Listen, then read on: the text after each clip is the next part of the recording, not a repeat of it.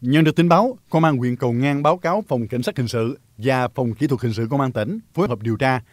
Qua khám nghiệm hiện trường và xác minh nhiều nguồn thông tin có liên quan, cơ quan điều tra xét thấy vụ án có nhiều nghi vấn.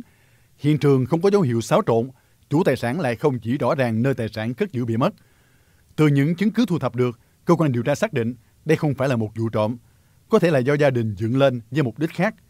Trước những chứng cứ cơ quan công an thu thập được, ông Hồi đã phải thừa nhận là hiện trường mất trộm do ông dựng lên rồi báo án giả với mục đích để xin tiền của người chị ruột đang định cư tại Mỹ. Ông Hồi cho biết hàng ngày ông chạy xe khách theo hình thức hợp đồng, còn vợ ông thì buôn bán đồ ăn thức uống tại nhà. Do việc làm ăn không mấy thuận lợi dẫn đến nợ nần, mất khả năng chi trả, ông đã bịa ra chuyện bị mất trộm số tiền lớn để được người chị chu cấp tiền trả nợ.